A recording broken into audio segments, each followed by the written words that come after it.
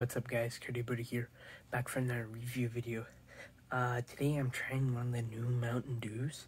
It's called Mountain Dew Baja Flash, and I think it's pineapple, okay? So let's get into the taste test. Alright.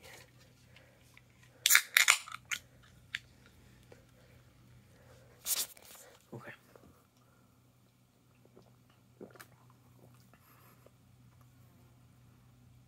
There's a fly bugging me right now.